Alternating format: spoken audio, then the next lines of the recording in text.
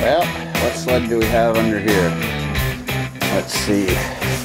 No, that's not the sled. That's a 69 hood. I'll uh, show you here in a sec. That's just a spare hood there. Well, here's the sled. 77 Olympique 340.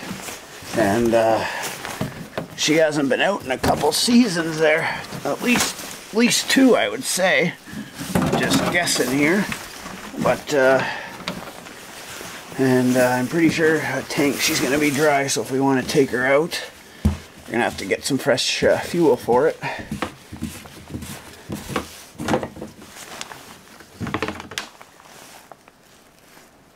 Yeah, she's pretty much bone dry there.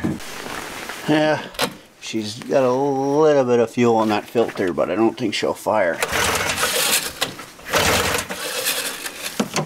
Uh, what I'm going to do is I'm going to go get some fresh fuel and uh, some uh, new spark plugs there and then we'll see if she'll fire up.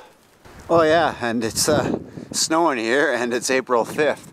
Uh, started snowing around 11.30. It's now 2 o'clock there in the afternoon. But uh, anyways, temperature was about plus 3 Celsius. But nice westerly wind I believe. So anyways, go get those spark plugs and put them in. There I got the two new plugs. Fuel filled in, so she's at about a quarter tank.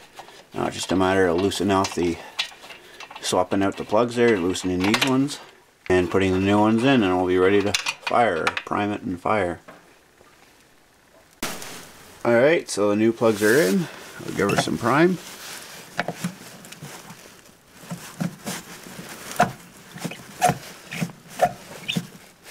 Lots of air bubbles because she's been sitting. Now we'll give her a pull.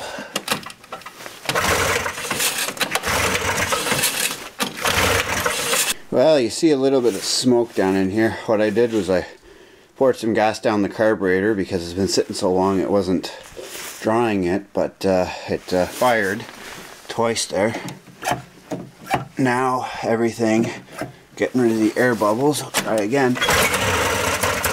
There she cried again.